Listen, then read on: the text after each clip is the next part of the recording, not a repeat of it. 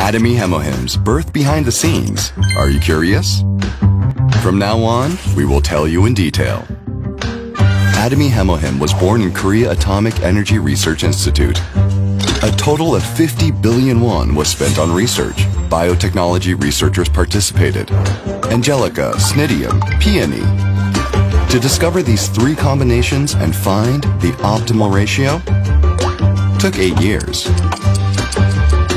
In 2006, it was finally recognized as the number one raw material that can aid in improving immune function.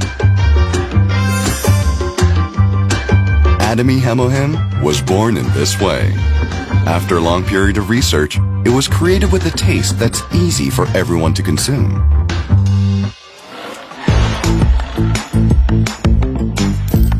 First, Hemohim had a hard time attracting many people.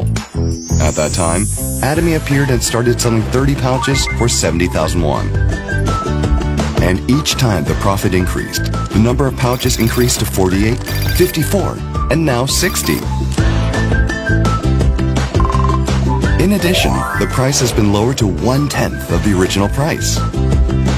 Thanks to that, more consumers wanted to purchase Atomy Hemohim, and now it stands tall as Atomy Hemohim. What kind of legacy will Hemohim continue to create in the future? Only for immunity. Atomy Hemohim.